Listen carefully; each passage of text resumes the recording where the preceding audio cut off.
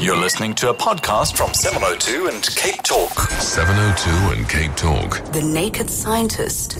And our lines are open for you. Give us a call on 021 446 0567 011 883 0702. We're taking your SMSs. What do you want to ask the naked scientist today? We are satisfying our curiosity about the world in which we live. And of course, we're building up to our live annual um, interaction with him in front of a live audience. We'll give you details as soon as everything has been confirmed, but it's definitely happening. Again, uh, the naked scientist will be at the Rand Easter show as well for that. Uh, Easter weekend. We'll give you those details. So lots to look forward to there. Chris, good morning. Good morning. Well, I see the story about a handshake that we all do it. There's no denying it. I'm the exception. I don't shake hands. well, it's not just shaking hands that we all do, Yeah. or pretty much Most people, yeah. uh, it, it's actually what we do next. Because there's a researcher at the um, Weizmann Institute in Israel. His name is Idan Frumin. And he has published a paper in the journal eLife where he said, Well, we had, th- we had heard that people do something interesting after they shake hands with each other. So we thought we'd put it to the scientific test, and they have. Hmm. And that thing is that when people shake hands with somebody else, in the few minutes after they've shaken hands, what they actually do is sniff their fingers. And they found this by inviting people to their laboratory under the auspices of taking part in a scientific study and put secret cameras up, and people didn't know they were being filmed, at least at the start of the study. And an experimenter would walk into the room and was randomized either to shake hands with the person and say hello or just to walk in and say hello. And the researchers watched where the person's right hand versus their left hand, that's the right hand being the one that was shaken, where that went in the ensuing couple of minutes.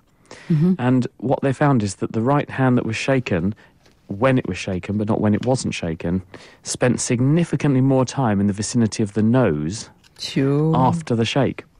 And the other thing they did was to prove that a number of things happen. One is that when people shake hands like this, that they definitely sniff. Hmm. They were able to show air going up the nose uh, when people bring their fingers to their face like this. They were also able to show that there are transfers of chemicals from one hand to the other because they did the experiment with an experimenter wearing a glove that they could also then put into an analyzer and show that there were chemicals coming off of the hand of the person doing the shaking onto the glove, proving that you're transmitting chemicals between the two of you when you shake hands. And as Idan Frumin put it to me, this is basically the human equivalent of what dogs do when they meet each other, but it's a bit more socially acceptable. Very, very interesting indeed. I'm going to be observing that uh, now more than ever. Let's go to, uh, is it Charles in Kensington? Hi. Yes, good morning, Reddy. Good morning. Yeah, I just wanted to ask the naked scientists how do satellites and the space station keep within Earth's orbit without wandering off into deep space? And Charles, but the answer is all down to gravity, a wonderful invention from Cambridge, in fact. Isaac Newton, a few hundred years ago, discovered, apocryphally because an apple fell on his head, but it's not actually true. No apple ever did fall on Newton's head. He, he just agreed to, to live with the story because it was a good one. Uh, but the answer is that things are attracted to massive objects because they have gravity. So the Earth is a massive object, it has a lot of mass, which means it bends the fabric of space, space time, and things therefore feel a force towards that object. So you have a satellite, including the Earth's biggest natural satellite, which is the Moon. It has mass. The Earth has mass. Those two masses are attracted by gravity. And because the objects are trying to move in a straight line, but gravity is pulling on them, they actually go always in a circle. So they're falling towards the Earth all the time, but the circle they're moving in is a bigger circle than the surface circle of the Earth, and therefore they, they fall towards the Earth all the time, but always miss and go around in a circle. Okay, thank you very much, Charles. Lovely question. Shall we go to uh, Stephen in Roodepoort? Good morning. Hi, good morning, guys. How, how's it? All good. Stephen, your question, please. Very well. Yes. Um, I've noticed something strange about my body, right? I don't know if it happens with me alone, but um, I haven't really asked my friends or my peers. I, I tend to pay a lot of attention to my left hand rather than to my right hand. And as a result, I've noticed that my fingernails grow quicker on my left hand than my right hand. Is it because I, I pay attention to it? What happens? I'll listen on the radio. Well, fingernails grow at um, it's a few millimeters every month or so. It's about the same speed that tectonic plates move on the Earth, actually. And the f- toenails are the same. Fingernails are made of the protein keratin, and you have cells in the plate at the base of the nail which are laying down this keratin protein, same stuff your hair's made of, and they slowly push the nail outwards over the nail bed. And we have these structures because they, they actually make doing fine manipulation easier because they stabilize and strengthen the ends of your fingers and toes. But the nail wears down because it is just made of this fibrous protein keratin. And the more you do with your fingers, the more wear and tear there will be. So if you are using your right hand more than your left hand, for example, the nails there will wear slightly faster than the ones on the left. Uh, the other thing to bear in mind is that your overall body nutritional status will affect the rate of nail growth. So, people who are well nourished, people who eat a good healthy diet with lots of protein in it, they're going to have faster nail and hair growth. People who are unwell for some reason, certain drugs, chemotherapy, being systemically unwell, chronic infections, that kind of thing will, will slow down nail growth. Uh, and so basically your nails are growing at a pretty standard rate. This will in- increase a bit if you have good nutrition. It will decrease a bit if you have poor nutrition or other illness, and wear and tear will file the nails off. And that will happen to potentially asymmetrically, depending on what you do with the body part concerned. And uh, is it Michael in Sunninghill High? Hi, Rudy, uh, and your guest. I my question is, what is the stuff that's burning on the from the sun? In other words, is it is it gas? Is it coal? Um, when are we going to reach a total blackout? Okay. And occasionally there are explosions from the sun. What is that all about? Uh, yes, right. So the sun is a massive ball of gas in the sky. It's mostly made at the moment of hydrogen. When it, when it first began, it was almost all hydrogen. And the hydrogen is fusing by the process of nuclear fusion. Four hydrogen atoms glue themselves together under the intense heat and pressure of the sun's condition inside to make an atom of helium. And because there is a disparity in the mass between four hydrogen atoms and four and, and one atom of helium, that mass difference is the energy that the sun gives off. Because when you stick particles together, then you get some energy out, and that energy uh, comes radiating out from the sun as photons of light, effectively, and they come through space towards us. And some of those photons are visible light that makes the light that we see by. Some of them are invisible light called infrared, which we experience as heat. There are also other forms of radiation as well that come off the sun. But those, those forms of radiation keep the Earth nice and warm, and the visible light, when it hits the Earth's surface, it hits the Earth's surface with a rate of about one kilowatt per square metre, so a thousand watts on every square metre. This uh, is absorbed by the Earth's surface, warms up the Earth's surface, and then gets re radiated as infrared heat back out from the Earth's surface. So that's why the Earth warms up in the presence of sunlight and then keeps itself nice and warm. And even when night comes and there's no sunlight hitting the surface of the Earth, it doesn't go completely cold straight away because there's still some of that latent heat in the Earth's surface. The explosions on the surface of the sun that I mentioned, yes, you do get these things. Uh, you get solar flares and c- what are called coronal mass ejections. These occur because the sun has um, a magnetic field this magnetic field is twisting and turning because the sun is itself turning and the surface of the sun is turning at a slightly different rate to the innards of the sun. And this can lead to almost like a corkscrewing effect of the magnetic field which can get very very tightly wound and then it flings surface material from the sun out into space in a big sort of cosmic burp which convulsively expels this material out from the surface of the sun and it comes racing across space and, uh, and actually can annihilate anything in its path. Little ones are capable of causing disruption to satellites and our power grids and electronic systems on Earth. Big ones can actually wipe out whole power grids and, and destroy satellites and things like that. So that's why uh, the UK has actually started a space weather forecasting program now. In the last 12 months, um, we launched a space weather system um, pro, um, forecasting system so that uh, scientists are keeping an eye on what the sun's doing so that because we're so heavily reliant on the technologies that could be damaged by this sort of radiation, um, we, we, can be, we can warn people who run these satellites and things so they can shut down sensitive systems well ahead of the arrival of one of these uh, explosions so that we minimise the damage. Ndina and Gavin, stay on the line. I'll be back with you in a moment. 702 and Cape Talk. The Naked Scientist 021 446 0567 or double one double eight three oh seven oh two. Ndina in Pretoria. Hi.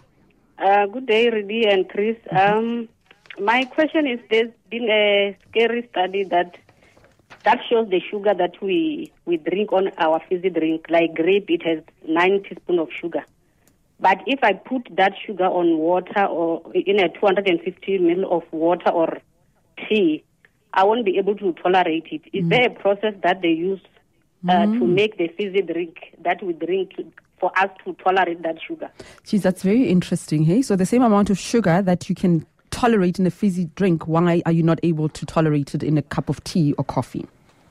I think it's what we get used to, and it's a really important point you make, and thank you for raising it, because these fizzy drinks have got a lot to answer for, actually, because they they pack a massive calorie punch, and we just don't realise it. You tip down one of these drinks, and there are hundreds and hundreds of calories in there, and because you're thirsty and you're drinking for a liquid refreshment rather than energy, all that energy is sort of empty calories. You just eat all this, all this, or you take in this huge burden of calories that you didn't need because you weren't hungry, you were just thirsty. And you're quite right that if you were to put that much sugar in tea and coffee, it would be so insipid that you would say, ugh, that's disgusting. But because of the formulation of the drink, it's actually blended to taste good. And we, we all like them. And that's because there's a whole range of different things about that. You don't have fizzy tea or coffee, perish the thought, that would be disgusting. Yeah. But in the context of a fizzy drink, which is a, very different sort of consistency in your mouth, it's a different flavour profile, and we expect it to taste differently, you can get away with a huge amount of sugar in there. And you should be really careful, everybody. I mean, I, I do not drink these things anymore mm. because when I looked up how many calories are in there, and you think this is, this is giving you a massive sugar hit, and it then causes a massive surge of insulin to come out of your pancreas. And it turns all of that sugar instantly into flab, and it's really bad.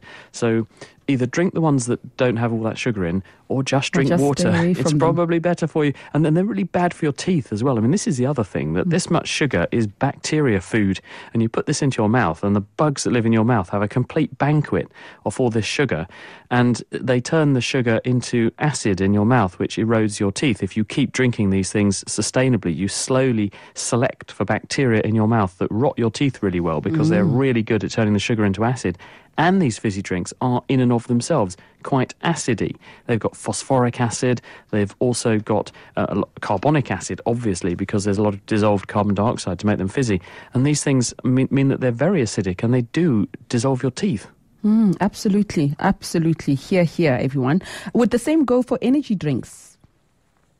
Well, it depends what's in them, but the, usually the reason they're an energy drink, and, and this is a little bit of a dodgy market because the labelling and branding and marketing is quite crafty. So you've got to read the label, but energy equals calories. And if, yes, if you're exercising and you need a surge of energy because you've just burned a thousand calories doing uh, the marathon like you were running recently, really, um, then yes, that's fine.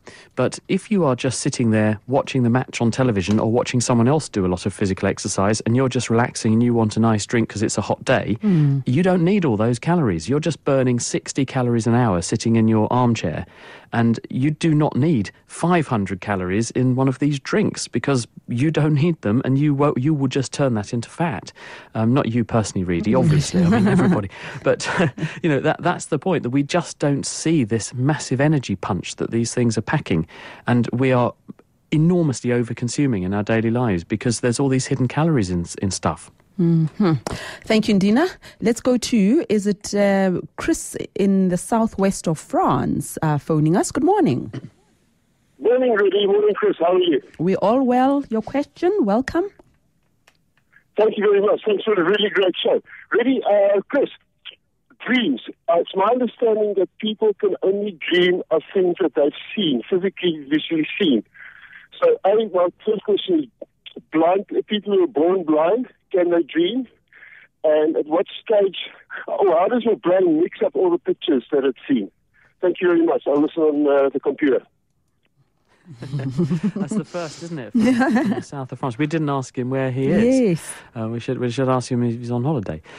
Um, when you dream, this is a specific stage of sleep and it's what's called REM or rapid eye movement sleep. You can tell when people are dreaming if you watch their eyes beneath their eyelids, they're moving around. And if you record their brain waves when they're in that pe- pe- uh, stage, you will see there's an intense pattern of, of brain activity, almost as excitable as when a person is awake.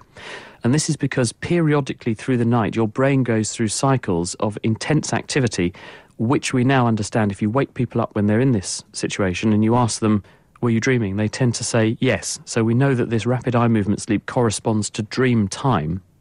If you look at which bits of the brain are becoming active during these dreams, you switch on the same regions of brain that you would use to do different jobs with your brain during the day because the, the brain is specialized in different areas to do different jobs.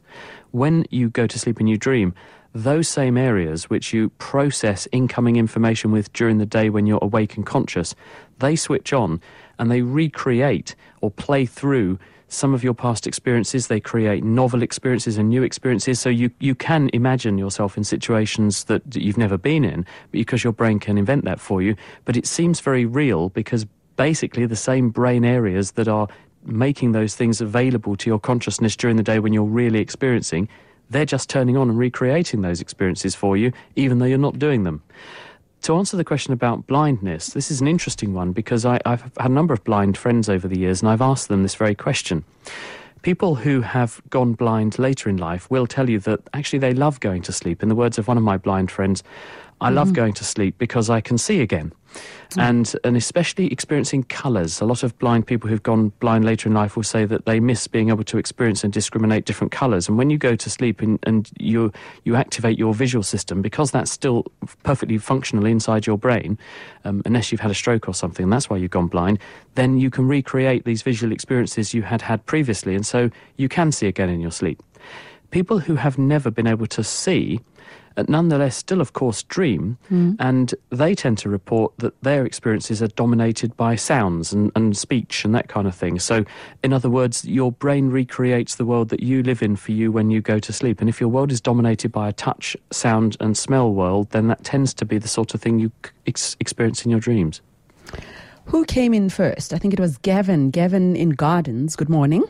Hi, good morning to both of you. Good morning. Um, I'd like to f- find out um, 1998, I bought three soda cans, um, each about 200 mils, and they've been sitting in a room. Uh, no heat, no cold or anything particular. And the other day I went to them, and the liquid has vanished out of all three cans. They've never been opened, never been touched. The, the liquid is gone. I wonder if you had an explanation for that. Whoa. so there were three fizzy drinks cans? They, they, each can is about 200 milliliters. They're small, quite small cans. Yeah, and over 17 oh, years. Over and 17 they were, they years. Were, they were fizzy uh, drinks, were they? They were fizzy drinks, yeah. On the bottom yeah. of the one can, I looked and I could see microscopic, what I would call like sugar, that looks like residue almost, but a tiny, tiny fraction of a amount, not even a, a fifth of, of a teaspoon. But the rest are completely empty, and there's no holes or there's nothing. Although you say there's no holes, um, mm-hmm. and we'll assume that they were full when you first bought them, and that this is not a trick. But although you say that, that there are no holes, there probably are, and the fact you can see that residue strongly argues that there has been a very, very small leak. And and I suspect were they the old-fashioned ring pull type cans? Because one possibility is that, that there was a very, very tiny hole and because of heating effects, if they're standing on a windowsill or something or in a room that gets hot in summer, then the, the, there will be expansion and contraction of the material that the can is made of. And this may have opened up a very tiny aperture just in one point on the tin. And slowly, over enough time, you just evaporate off the contents of the tin. Mm-hmm. And it might be worth opening them up and seeing because if, if evaporation has happened, then all the sugar and other things that were in there will have been left behind, and the liquid, the mainly water, will have just evaporated off. If there's a hole in the bottom of the tin, then it will have just dribbled out very, very slowly and slowly evaporated off the surface. Um, mm.